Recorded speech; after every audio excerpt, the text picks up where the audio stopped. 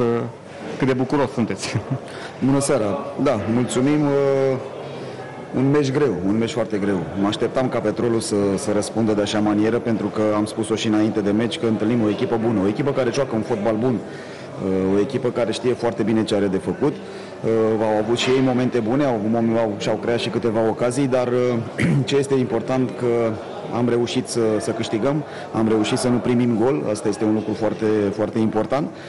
Mai avem de lucru, mai avem multe de pus la punct, dar pentru, pentru moral și pentru continuitate și pentru tot ceea ce urmează, uh, trei puncte uh, importante pentru, pentru noi și merită felicitați băieții pentru, pentru atitudine, pentru tot ceea ce au făcut, pentru că nu a fost nimic întâmplător uh, tot ceea ce s-a întâmplat în teren. Mă bucură că am reușit să punem în practică multe din lucrurile pe care le-am făcut la antrenament și asta este, asta este important. A fost diferit, total diferit față de, de meciul de la, de la Pitești, mai ales atitudinea pe care am avut-o, dar aici, bineînțeles, și cu suportul publicului cărora trebuie să le, să le mulțumim. A fost o primă repriză în care ați avut multe ocazii, ați și marcat, a doua repriză da, pragmatic. A, în prima repriză cred eu că a fost dominată total de noi și uh, i-am supus sub presiune, i-am obligat să greșească. Uh, doar că a doua repriză, exact ce le-am transmis la, la pauză, am le-am spus să nu, să nu facem pasul în spate, tocmai că am, uh, am cedat puțin mijlocul terenului, ne-am retras mai, mai mult decât trebuia și uh, am lăsat petrolul puțin să, să vină peste noi. Ceea ce nu, ce nu este ok, dar Până la urmă, important este că nu am primit gol și că am reușit să ne, să ne descurcăm în anumite faze de critice. Atmosfera N-ați mai Atmosfera e incredibilă, da. este incredibil. Nu ai cum să nu joci fotbal, e o plăcere. E o plăcere să joci fotbal cu asemenea public, cu asemenea galerie.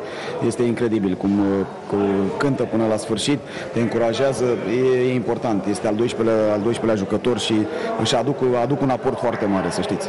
Aveți emoții pentru Miculescu până se termină perioada de transferul, că s-ar putea să-l pierdeți? E posibil orice. Este posibil orice. Deocamdată este aici, se pregătește. Observați jocul lui Miculescu, nu este întâmplător.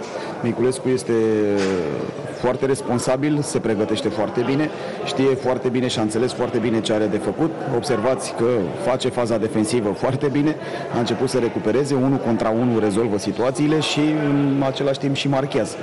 Bravo lui, îl felicit, dar am spus-o și le-am spus-o și lor, pentru mine este important grupul, e importantă echipa, dar faptul că el reușește să marcheze este bine pentru el și pentru, pentru moralul lui. E un examen important, meciul cu voluntari acum? Care Toate meciurile sunt importante și sunt ca niște examene pentru noi. E clar că ne dorim să câștigăm fiecare meci în parte. Trebuie întâi să ne refacem pentru că avem o perioadă foarte scurtă.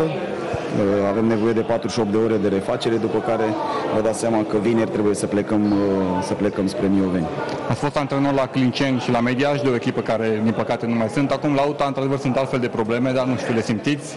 Sau între suporter nu, și conducere? Nu, nu, nu. Deocamdată eu am spus-o că noi trebuie să ne vedem de, de problemele noastre, de tot ceea ce avem noi de lucrat. Nu le simțim pentru că suntem ok, suntem bine, avem tot ce ne trebuie, nu ne lipsește absolut nimic, suntem cu banii la zi.